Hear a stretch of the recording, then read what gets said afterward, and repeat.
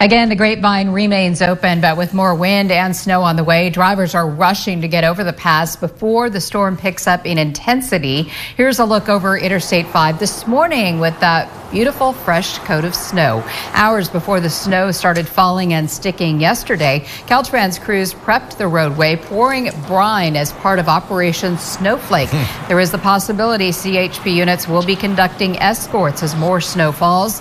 And then when road conditions become unsafe, the grapevine will have to be closed for safety and could remain closed for hours or even days during the worst of the storm. And that impacts travelers on both sides of the pass, along with everyone living in those southern mountain communities.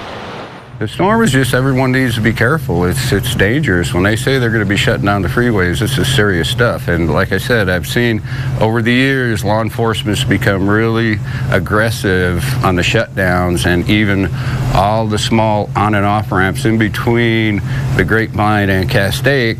There was never any presence there. Now their presence is there. So they're making sure people aren't falling into harm's way. Again, drivers are advised to avoid travel in the mountains the next few days. And if you do have to drive, slow down in the presence of Caltrans crews who are working on the side of the roads.